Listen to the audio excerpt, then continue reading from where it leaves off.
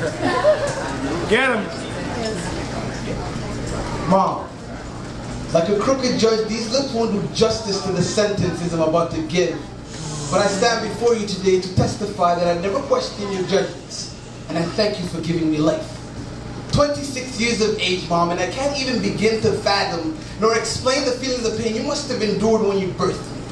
But considering we were connected, I can only assume that's the reason I cried. 26 years of age and I can't even begin to fathom nor explain the feelings of pain you must have endured when you birthed me. And I thought included the five times a day your metamorphosis into prayer dress, leaving glitters of content with each step, catching flight before you gracefully set your feet to lay your humility before God and back into mother before reasoning can even distinguish between fantasy or reality.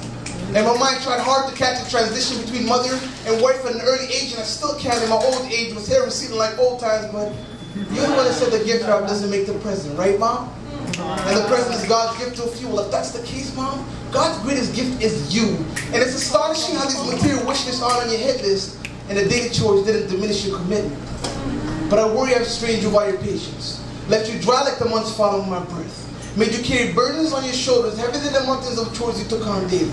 Humbled like the Nile, you reject the notion but can't deny the evidence is written on your face and the way you walk.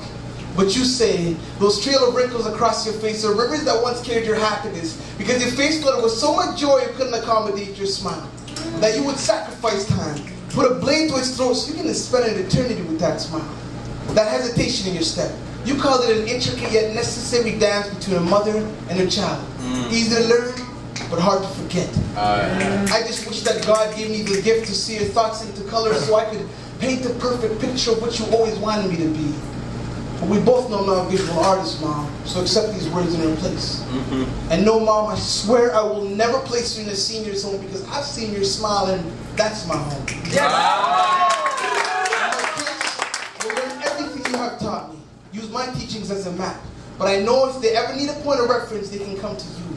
Because you always have been and always will be my legend.